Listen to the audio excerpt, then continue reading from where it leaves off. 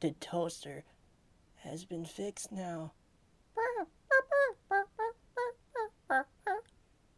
Uh, yes, Oku. Let, let's try it. Let's put the bread in the toaster. Uh, I'm not sure why it's green, but as long as it works, I'll take it.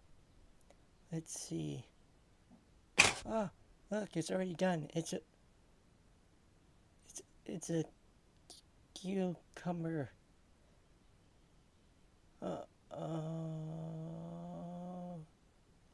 I I put the bread in, and the cucumber came out.